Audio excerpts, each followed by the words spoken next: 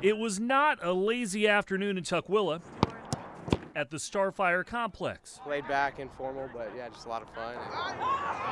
A ragtag group of players across every demographic united by sport, indicative of the appeal of a global game. But when the world comes to, you know, comes around, everybody comes together, and it's just, you know, it's a huge, huge thing. Everybody, it kind of creates a camaraderie.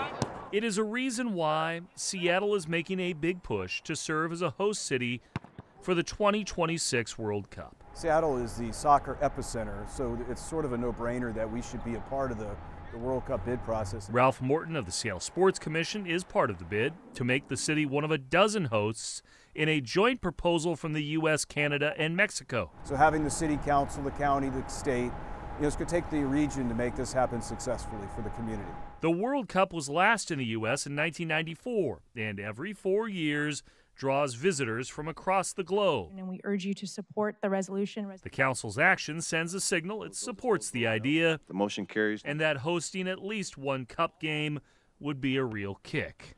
I think it'd be awesome. Um, be a great opportunity for business to grow around here. The city won't find out until later this year if it will accomplish the goal.